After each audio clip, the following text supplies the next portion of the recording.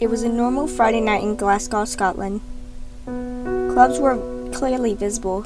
The bright lights and the blaring noise dominated the night. But with the light, there was also darkness. There was one, almost abandoned house estate where nothing was there and everything was silent. Almost as if a bubble had been wrapped around and direct, directed house block. No one went there because it was dark and eerie.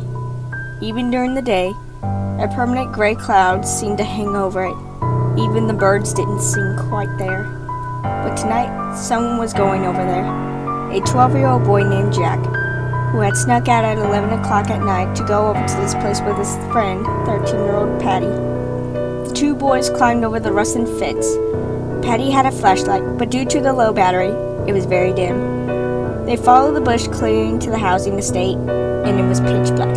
They emerged from the clearing to see a low, a long row of brick houses. In eerie silence, they walked towards the alley in between two of those houses. The flashlight wasn't going to last much longer, and then they would have to entrust only the dim glow of a half moon to guide them. They went into the alleyway, Jack first. They found a dumpster and looked at the ground to see a red substance had stained the ground, leaving a trail which led behind the dumpster. Jack checked it out and immediately gasped with shock. Patty, taken by surprise, ran out of the alleyway. It's a dead body. Oh my god, what are we gonna do? Jack screamed, barely squeezing the words out through his state of sheer panic. Sure enough, a dead body lay there, headless. It lay there. It had been excreted, disemboweled, mangled, and cut up in every possible way. Jack looked towards Patty, expecting some sort of reaction, but Patty wasn't listening. He was already too concentrated in what was behind Jack. Watch out!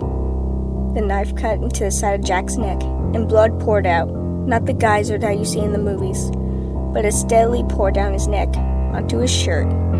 Jack fell to the ground, motionless. Patty shone his light onto the creature that had just killed his best friend. He had a black hooded shirt on, with long sleeves. On the t-shirt, it had an upside-down Illuminati pyramid symbol printed on it. Also printed were words run, fight, but there's nothing you can do. You can be sure, though, that Smiley is coming for you. The creature also wore a pair of black jeans, but most distinct feature we're certain was its face. Blood red, as if someone had ripped the skin from its face, and slightly glowing blue eyes. The creature's mouth was also fixed into a permanent yellow cross smile, which stretched across up to its eyes. Patty can only see for a few seconds, and then his light completely ran out, shrouding the alley in complete darkness. His best friend's body was dragged further in and was swallowed by the darkness. Patty covered his ears as the creature let out an ear piercing fit of hysterical laughter. Patty dared to take a few steps into the darkness, and then the creature took him. With blinding speed, the creature rushed towards him and stabbed Patty in the neck, and held him up like a piece of meat. Patty took one last gaze into the creature's eyes.